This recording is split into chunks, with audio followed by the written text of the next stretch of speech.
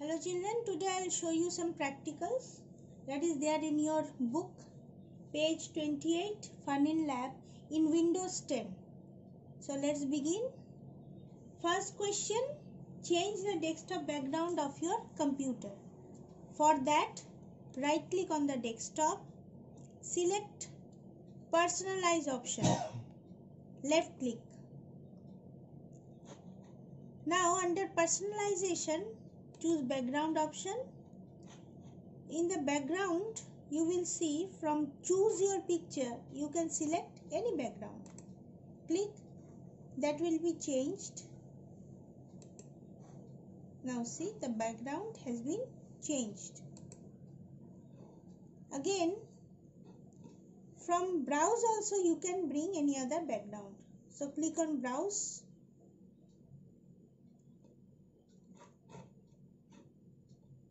say I am selecting this picture. Click choose picture and minimize. So the background has been changed. Again another option you will get.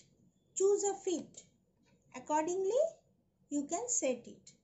Fill fit stretch tile center whatever you feel like. Do like that see center in center it comes like that. Okay?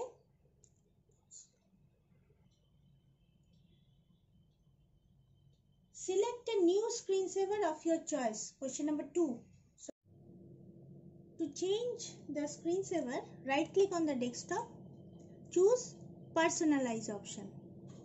From there you will see under personalization lock screen scroll down. Screen saver settings. Just click on it. Screen saver settings help box appears or window appears. Under screen saver option many options you will get. Mystify 3d text blank bubbles. So i am selecting bubbles over here. Wait. 1 minute I'll keep like that.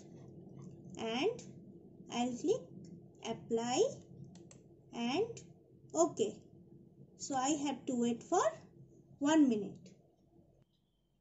So after 1 minute see like this bubbles will come. So if you touch the mouse again it will go away. Next option change the appearance of the windows using window color option for that, you have to right click on the desktop, select personalize option. From there, you choose colors under personalization colors. Click on the background option here. Click once and then from choose your background color option select any color you will see the background will change accordingly. Click and see there will be change in the background. So you can change the background color using this option.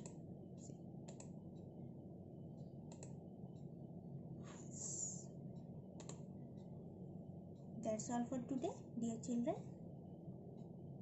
So next class we will be doing crack the code and I'll give you one PDF of long answer type questions. Thank you. Bye.